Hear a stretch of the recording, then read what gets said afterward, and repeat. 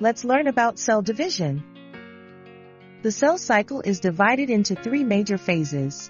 Interphase, mitosis, and cytokinesis. Cells come only from pre-existing cells through the process of cell division.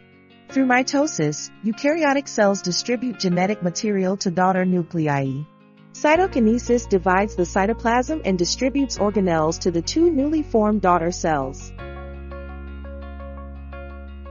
Each DNA strand was replicated earlier during the S phase of the interphase to form two identical strands called sister chromatids.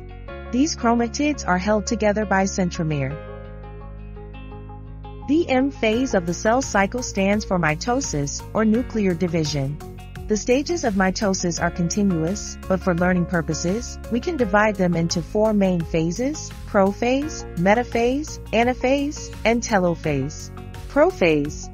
During this first phase, the sister chromatids shorten and supercoil and become visible for the first time during the cell cycle it is easier to eventually separate sister chromatids in the coiled shortened state than to try and separate long, tangled threads.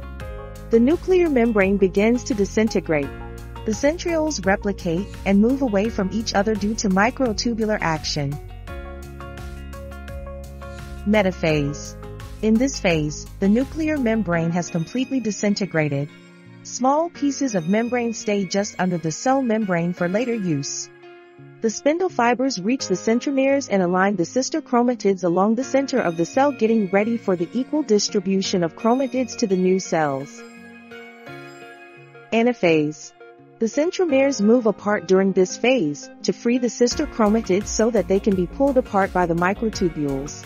Some spindle fibers shorten and some lengthen, stretching the dividing cell. Telophase.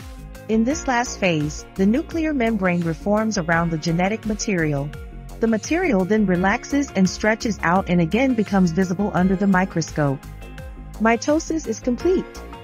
Animal cells that divide into two actually begin the process of cytoplasmic division during anaphase or telophase by the formation of the contractile ring that eventually separates the daughter cells. If cytokinesis does not follow mitosis, the result is multinucleate cells.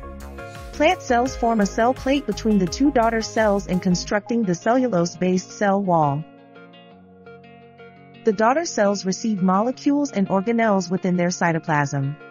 Many tissues contain these cells called stem cells, which after cytokinesis provide one daughter cell to perform special functions of the tissue, while the other daughter cell re-enters the cell cycle to provide new cells as specialized cells die.